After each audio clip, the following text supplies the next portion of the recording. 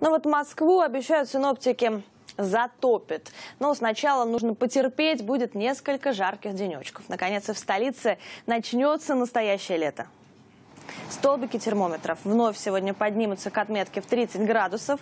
Правда, наслаждаться настоящей июльской жарой москвичи будут совсем недолго. Уже в воскресенье погода вновь будет капризничать. Завтра мы ожидаем большее количество облачности, понижение температуры на 2-3 градуса и большее количество осадков, сопровождаемых кратковременными, э, сопровождаемых грозами.